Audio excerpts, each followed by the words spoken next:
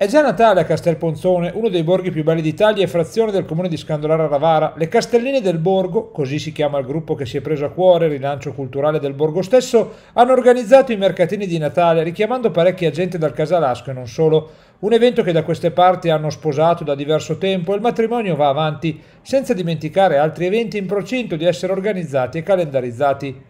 eh, ci troviamo alla sera e prepariamo tutti gli addobbi e tutte le, le, varie, le, varie, cose che ci sono in giro per il paese. Siamo contentissimi della giornata perché vediamo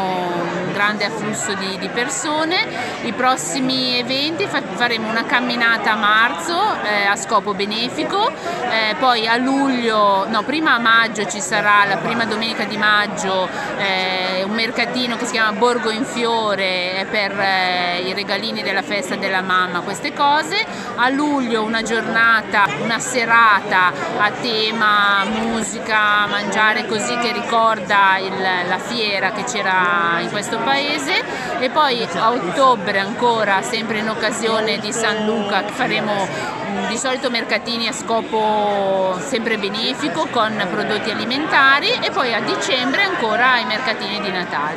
È festa per tutti, sotto l'albero, sotto i portici o tra gli strettini, le caratteristiche vie di Castelponzone con la musica e l'intrattenimento a tutto tondo della band Casalasca degli Alter Ego. Il grazie anche dal sindaco di Scandolara Ravara, Roberto Oliva. C'è pieno, pieno, pieno di gente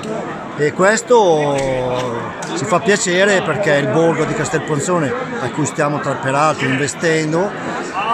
ha fatto sì che grazie anche al grande lavoro delle, delle, castelline che in loro totale autonomia mantengono vivo eh, queste tradizioni e, e anche altre che stanno portando avanti.